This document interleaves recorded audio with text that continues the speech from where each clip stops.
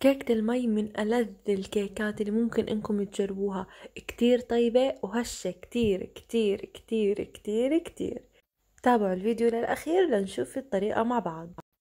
رح نحتاج لأربع حبات بيض بحرارة المطبخ. رح أحط فوقيهم مباشرة كوب إلا ربع من السكر سكر الشاي العادي. وشوية من الفانيلا مقدار معلقتين أو معلقة كبيرة من الفانيلا السائل. برش من البرتقال أو برش من الليمون حسب المتوفر.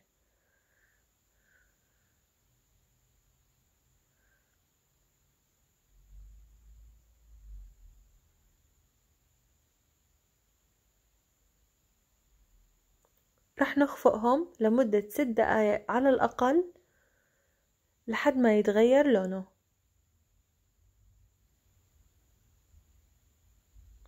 رح أحط فوقيهم كوب إلا ثلاث معالق من الزيت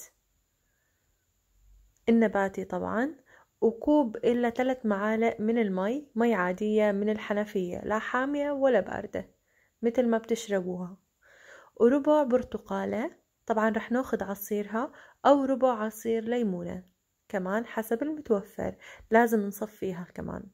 رح نخفقهم لمدة دقيقة واحدة فيكم تستعملوا خلاط الكوكتيل إذا حبيتوا رح نحط مصفاي ونصفي فيهم آه ننخل فيها عفوا آه تقريبا ثلاثة كوب من الطحين بس ناقصين ثلاث معالق كبيرة.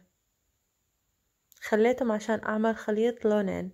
أما في حال بدكم اياه لون واحد فيكم تحطوا ثلاث أكواب طحين كاملين. راح أحط معلقتين كبيرة من ال baking powder ورشة صغيرة من الملح وهاي الرشة لا تستغنوا عنها أبدا. راح ننخلهم كتير منيح. وحتى هاي الكراكيع الصغيرة كمان لازم آه نعملهم بهاي الطريقة. وراح نحط الخليط آه راح نحط الطحين على دفعات أو على دفعة واحدة حسب ما بتحبوا يعني. راح نحركهم بالأول بالمعلقة على الخفيف لتتجانس بعدين راح نخفقهم بالخفاء الكهربائية. بس نتأكد إنه كل إشي يتجانس مع بعضه. رح نقسم الخليط لقسمين. القسم الأول آه رح أحط فيه أول إشي شوية صغيرة بس ليتجانس مع الكاكاو بعدين بكفي عليه وبحط الكمية كلياتها. رح أحط عليه ثلاث معالق طحين حسب عدد المعالق اللي انتو أخدتوها من الطحين. إذا بتحبوه غامق كتير خدوا ثلاث معالق. أما إذا بتحبوه فاتح يعني ما تكون غامقة كتير من جوا فيكو تاخدوا معلقة أو معلقتين من الكاكاو. هلأ رح أنخل الكاكاو. طبعا أنتوا لاحظتوا إنه أنا ما أخذت كمية نص الخليط لساتني بس عشان يتجانس بالأول مع الكاكاو. طبعا أنا ما حطيت مي ولا حليب. هون بهاي المرحلة. بدي إياه يضله منه وفيه عشان نكهة الكاكاو تضلها آه، أطيب. وهلأ زدت عليهم باقي نص كمية الخليط وضلتني مستمرة بالتحريك بهذا الشكل لتجانس عندي وصار مثل هيك. طبعا فيكم تستعملوا كمان الخفاء الكهربائية إذا بتحبوا بهاي المرحلة. بالقالب مدهون بالزيت ومرشوش بالطحين. حطيت القسم الأول من الخليط. طبعا لازم يكونوا القسمين متساويين. وحطيت هلأ القسم الثاني من الكاكاو. هلأ هون نيجي لهاي المرحلة. إذا بتحبوا إنه الكيكة آه تكون من جوا لون واحد ومن برا لون واحد مثل ما أنا عملت فلازم تعملوا آه هاي الحركة. رح ناخد عود خشب. ورح نستمر بهاي الحركة لحد ما نتأكد إنه آه يعني رح نستمر بالحركة هاي بشكل دائري آه مع عقارب الساعة وعكس عقارب الساعة بس أهم إشي إنه ما نوصل للأطراف عشان تضل آه جلدة الكيك من برا على بياض ومن جوا يكون كلياته داكن. بهاي المرحلة هيك رح يصير كله من جوا غامق. ما رح يصير لونين. في حال حابين إنه يكون لونين يعني أبيض وأسود فلازم إنكم تستغنوا عن هاي الفكرة وتخلوه مثل ما أنتوا حطيتوه بالضبط. أما في حال بدكم يا لون واحد لا تحطوا الكاكاو أبدا.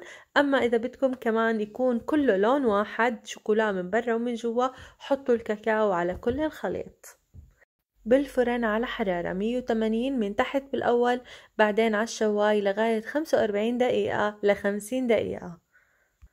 سويت الحواف وتركته ليبرد تماما بعدين قلبته. شوفوا ما شاء الله. يا عيني الله اسم الله.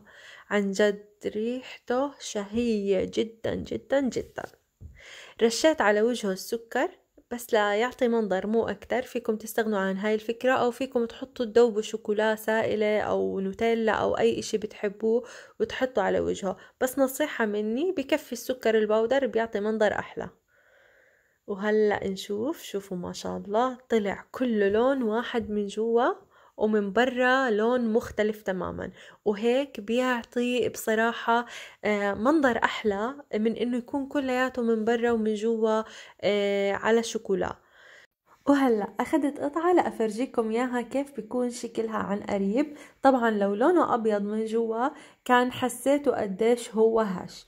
ولكن أكيد لما بضغط عليه هلأ مثل هيك رح تشوفوا قديش إني أنا صادقة معكم وهاي الوصفة مضمونة بهشاشتها ولذاذتها. يعني وصفة في قمة اللذاذة. بنصحكم إنكم تجربوها وأنا متأكدة إن شاء الله رح تنجح معكم من أول مرة. إذا عجبكم الفيديو خبروني بالتعليقات شو رأيكم بالوصفة خبروني إذا جربتوها أو لأ. وكمان الأحلى من هيك لا تنسوا تضغطوا لي عشان قناتي تكبر فيكم. شكرا كتير للمتابعة وباي باي.